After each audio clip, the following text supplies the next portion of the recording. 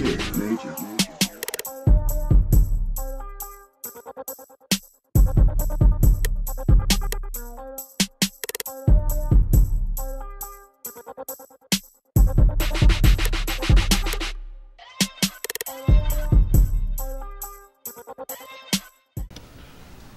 Good morning, Panthers. I'm Bryce Newby, And I'm Brianna Wood. reporting from Channel J106 for Prowler TV. Our Ridgepoint FFA radio team, consisting of Maddie Roberts, Mackenzie Lewis, Cameron Kelly, and Abby Knox, will be competing in the Texas FFA State LDE competition today, and we wish them the best of luck.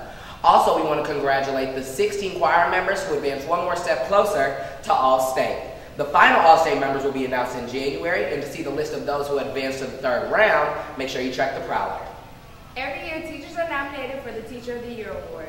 This year's nominees were Senora Press White, Miss Brown, and Dr. Dutta. Here's Madeline Rice for the video on the winner.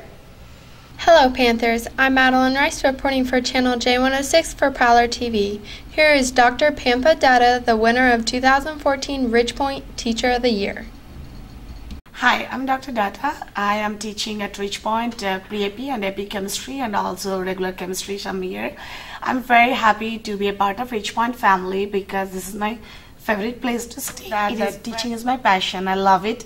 It's not my job. I never considered this as a job because I feel that way that as long as I love to teach, I will teach. The day I don't enjoy this process, I'm going to walk out from this because here I am for the kids. So if kids are not happy with me, then obviously I have no role to play in the school.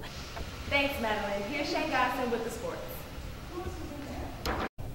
Hi, I'm Shane Gosser, reporter for Channel J106 for Prowler TV. And this week we have a very quiet week in sports. However, the varsity boys basketball team will be having a tournament in Beaumont, as well as the girls having a tournament in Katy. Also, if you want to see the district awards for volleyball and football, check the Prowler. Back to you, Brianna. Thanks, Shane. Speech and Debate will be competing in the A-League tournament this weekend, so make sure you wish them good luck. Thanks, Bryce. All right, you guys, the Student Council Toy Drive ends today, so make sure you turn in your toys to the correct organization's box by the end of the day. Tomorrow there'll be SAT testing here at Richmond at 8 o'clock, so good luck to all the testers. And Monday, Computer Science Club and SNUCO will be having their regular weekly meetings. We now pass it off to our weatherman, Brandon Chuck. Thank you, Brianna. I'm Brandon Schultz here with the weekend weather. Today we have a high of 74, a low of 64, with a 60% chance of rain. Tomorrow we have a high of 71, a low of 58, with a 40% chance of rain. And on Sunday we have a high of 64, a low of 54, with a 30% chance of rain. Back to you, Bryce.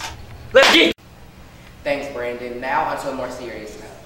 On Sunday, December 7, 1941, America's naval base at Pearl Harbor was attacked by aircrafts and submarines of the Imperial Japanese.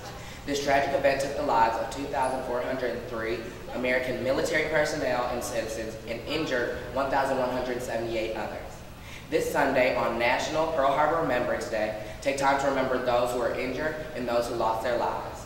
Take time to reflect and give thanks for the veterans and also thank those who are serving our country today to keep us safe. Well, that's all for us, Panthers. Reporting for Channel J106, I'm Bryce Newby. And I'm Brianna Wood. Have a great day, Panthers.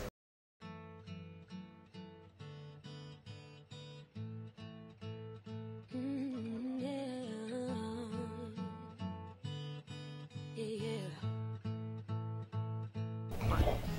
my name is Ryan Heller, and my life story is starts back in elementary.